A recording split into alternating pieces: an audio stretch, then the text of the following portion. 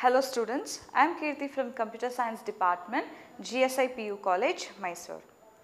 So today is our second session of chapter 8 data types. In the previous session we have discussed about what is a data type and what are the different types of data types are there. But in today's session we are going to discuss about modifiers. So what is a modifier? A modifier is used to alter the meaning of the base type so that it more precisely fits for the needs of various situations. So in modifiers there are of four types that is short, long, signed and unsigned integers. We can use short for small integers. It, it ranges from minus 32,767 to plus 32,767. An example for short type is short A is equal to 1, 2, 3, 4, 5. When it comes to long type, if we need to store large integer then we can use long modifier. So it ranges from minus 2147 4836472 2147 483647. And next type is signed and unsigned integer. What is signed integer? In signed integer, it holds both positive as well as negative integers including 0. An example for this is signed int x is equal to 23. So here it represents it is a positive number Next, in the next example, signed int y is equal to minus 13. This represents it is a negative number and signed int z is equal to 0. Here it is holding 0. So, sign in sign integer we can store both positive number as well as negative number including 0. When comes to unsigned integer, here unsigned integer is used to hold only the non-negative integer values. It is used to store only non-negative integer values. An example for non-negative integer values are unsigned int x is equal to 2 which represents it is a positive number and unsigned int y is equal to 0. Here 0 is a positive number. So, this is about modifiers. And next type of data type is derived data type. What is derived data type? Derived data type is nothing but the data types which are derived from simple data types or fundamental data types. Such type of data types we call it as derived data types. An example for derived data types are arrays, functions,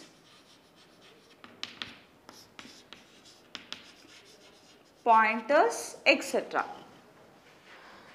So, we shall study about these data types in detail in further chapters. And next type of data type is user defined data types. What is the meaning of user defined data types? The data types which are derived from simple data types are called as user defined data types which is nothing but defined by the user. An example for user defined data types are structure, union and enumerated data types. Structures, union and enumerated data types.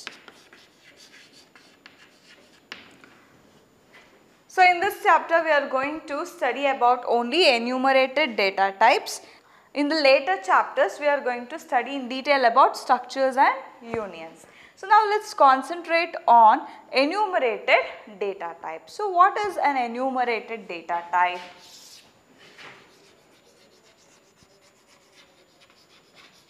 Enumerated data type. An enumerated data type is a user defined data type which consists of a set of named constants called enumerators. It is a user defined data type. It is a user defined data type which consists of set of named constants named constants called enumerators enumerators. Here enum is a keyword which automatically assigns the values 0 1 2 3 etc let's see how to define and declare a enum data type.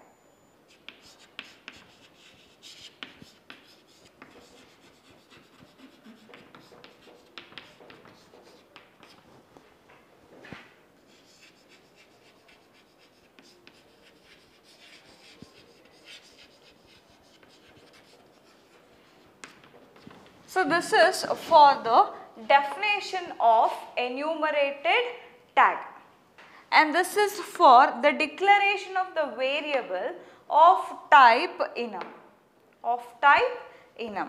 An example for this is enum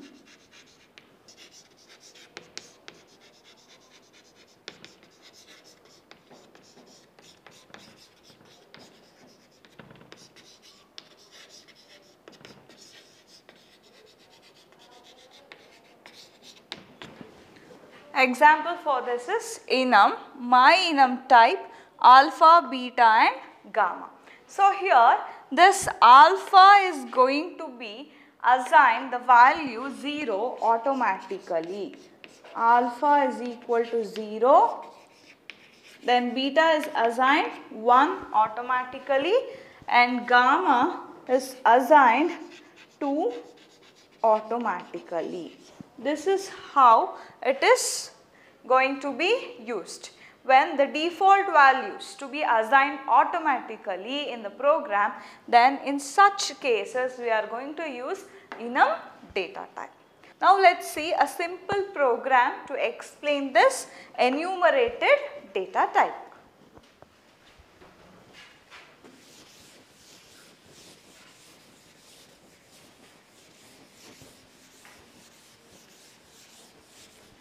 We can use this enumerated data type uh, in the case of uh, printing the days of the week and to print the months of the year then we can use this enumerated data type. First I am going to include the required header files as include iostream.h. So this is the supporting file for cin and out And next data file is hash include conio.h. This includes basic functions like clear screen and getch. Enum week. So here I am going to write the list of values Sunday, Monday, Tuesday, Wednesday, Thursday,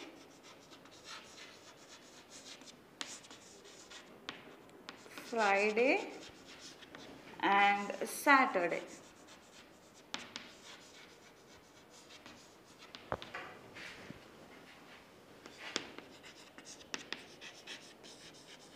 So here the return type of the main is int type because it is going to return a value. Week today.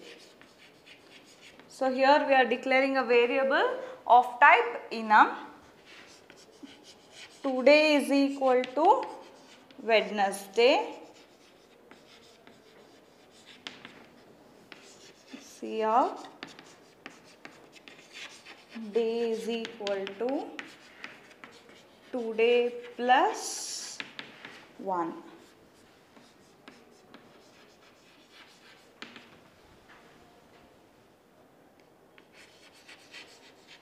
return 0. So it is going to print. So here we have declared a variable called today of type enum data type. So enum type that is week. Next today is equal to Wednesday. I am going to initialize a value for the variable today that is Wednesday. So here I am going to print day is equal to today plus 1. So what will be the output? What will be the output? Wednesday. So here Sunday is initialized the value 0 automatically. Monday is initialized as 1. Tuesday is initialized as 2 and Wednesday is initialized as 3. So what is 3 plus 1? It is nothing but 4. Day is equal to 4. So the output is day is equal to 4. So this is a simple program for enumerated data types. So in this session we have discussed about modifiers. What is a modifier? A modifier is used to alter the meaning of the base type so that it more precisely fits to the needs of various situations. In modifiers there are four types that is short, long, unsigned and signed integers. When it comes to derived data types, derived data types are the data types which are derived from simple data types. Some of them are arrays, functions and pointers. We are going to study in detail about these data types in later chapters. And next type is user defined data types. User defined data types are the data types which are defined by the user and they are also derived from the simple data types. Some of them are structures, unions and enumerated data types. So in this chapter we are going to study about only the enumerated data types. So what is an enumerated data type? It's a user defined data type which consists of a set of named constants called enumerations. So this is about this chapter. So this completes this chapter the weightage of this chapter is 2 marks. So from this chapter you can expect the questions like define a variable and uh, how uh, write the syntax to declare a variable with an example and uh, um, mention the different types of data types or they can ask mention the different types of simple data types or they can ask what is a modifier mention different types of modifiers or they will ask you what is enumerated data type, write the syntax for that. So these are the questions you can expect from this chapter. So this completes this chapter. Thank you.